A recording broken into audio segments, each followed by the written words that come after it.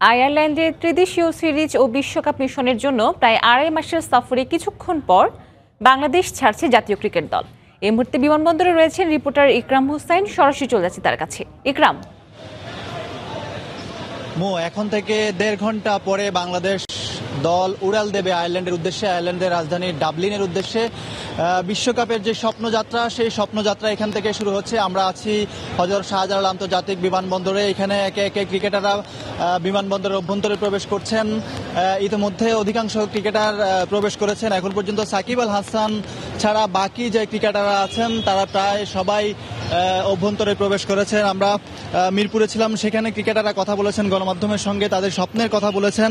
বিশ্বকাপে তাদের যে পরিকল্পনা, সেটি তারা বলেছেন। তারা বলেছেন যে আপাতত বাংলাদেশের লক্ষ্য থাকবে যে নয়টি ম্যাচ আছে, সেই নয়টি ম্যাচ ভালোভাবে খেলে প্রত্যেকটা ম্যাচের কথা তারা আলাদাভাবে চিন্তা করছেন এবং সেমিফাইনাল খেলায় বাংলাদেশের যে একটি টার্গেট সেটি থাকবে। আপনি জানেন যে বিশ্বকাপের দীর্ঘ সফর প্রায় আড়াই মাসের একটা সফর সেখানে ক্রিকেটারদের মানসিকভাবে ফিট থাকতে হবে, শারীরিকভাবে ফিট থাকতে হবে, সেই ব্যাপারটিও তারা বলেছেন যে এটা অনেক বেশি চ্যালেঞ্জিং কিন্তু বিশ্বকাপ একটা স্বপ্নের একটা ইভেন্ট সেজন্য তারা সবাই বলছেন যে যতটুকু সম্ভব তারা তাদের যে সেরাটা দেওয়া সেটি দেওয়ার চেষ্টা করবেন এর আগে আপনি জানেন যে আয়ারল্যান্ড সিরিজ হবে। আয়ারল্যান্ড সিরিজের জন্য উনিশ জন ক্রিকেটার আছেন। বিশ্বকাপের পনেরো সদস্যের দলের সঙ্গে আরও চারজন আছেন।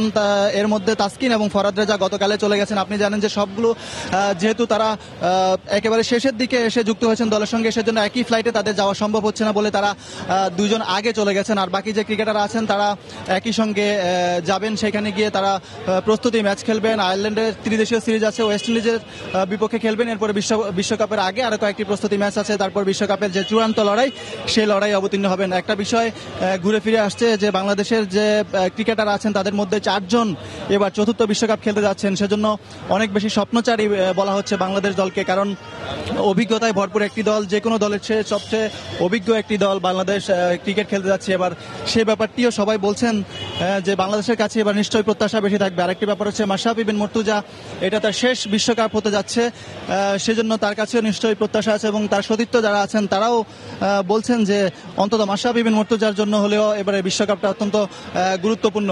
তো